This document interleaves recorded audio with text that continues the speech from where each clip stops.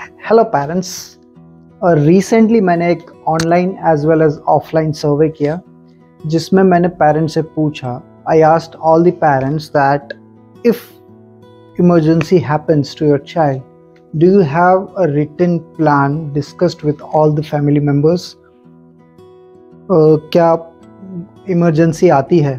तो आपके पास पूरा प्लान तैयार है?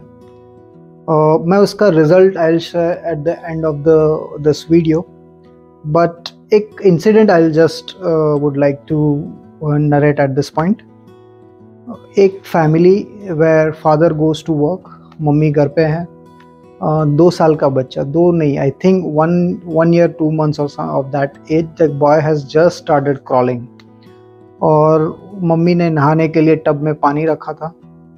और someone you know door bell बजा और पानी का जो था, वो बाजू में था और baby had just started crawling you know वो उतना क्रॉल भी नहीं कर रहा था।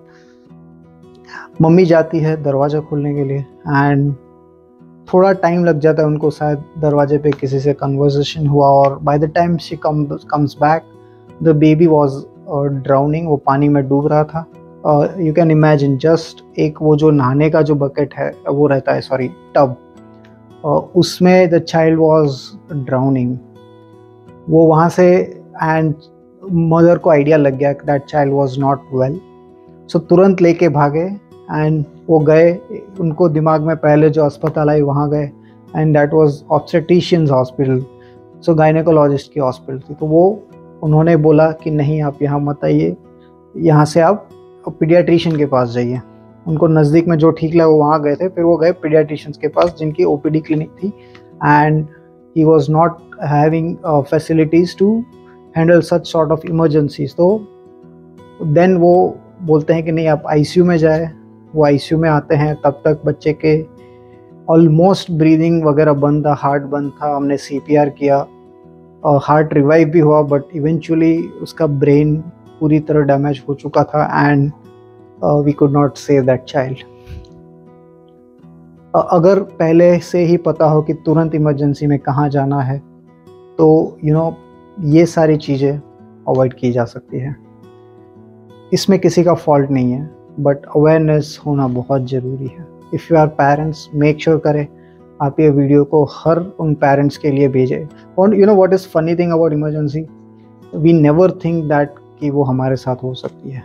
इट्स इट्स अ फैक्ट मैं आपको सर्वे जो बता रहा हूँ सिक्सटी फाइव परसेंट यानी दस में से छः से ज़्यादा लोग parents are not they don't know what to do in case of emergency this is the fact. I, you know you can see the asked many parents जो मेरे पास आते हैं।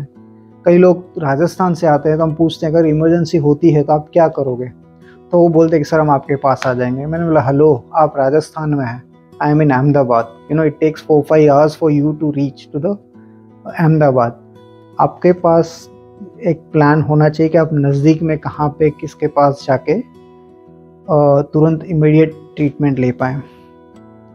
जब मैंने ये सर्वे डाला तो many parents asked me question and I thought of answering them in this video itself so so, एक पेरेंट्स ने पूछा कि sir what do you mean by emergency plan you know आप बताना तो चाह रहे हो you are doing a good thing of spreading this awareness but what do you mean by this तो let me be clear on this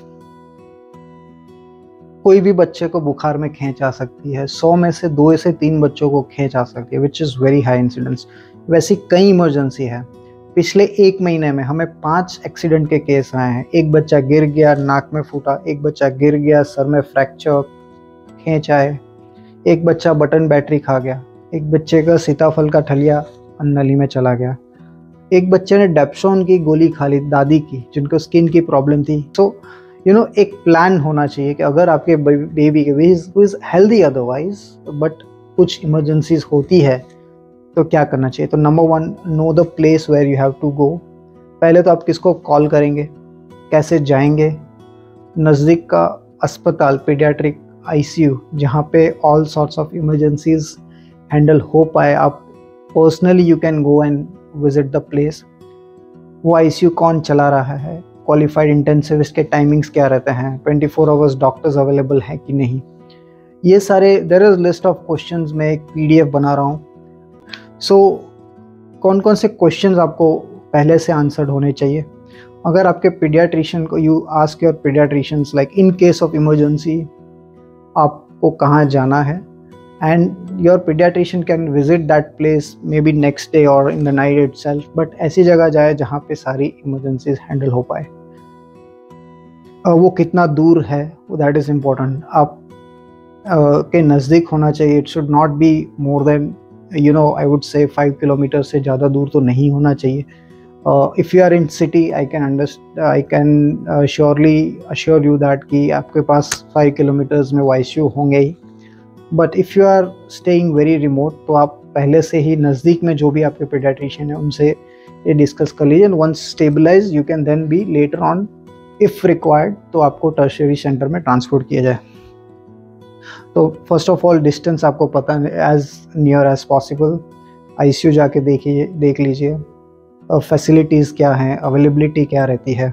Even many a times health care is lil expensive quality care is expensive तो आपका जो health insurance वगैरह है वो उस hospital या उस आईसीयू में uh, क्या है? But this is not the priority as I said when the matter of life and death this doesn't matter but या इफ़ अगर आपके पास दो ऑप्शन है, दोनों नज़दीक है तो आई एम श्योर आपका जो भी इंश्योरेंस वगैरह जहाँ पे वो हो you can always opt that place over the other और किसके साथ जाना, कैसे जाना everything has to be well documented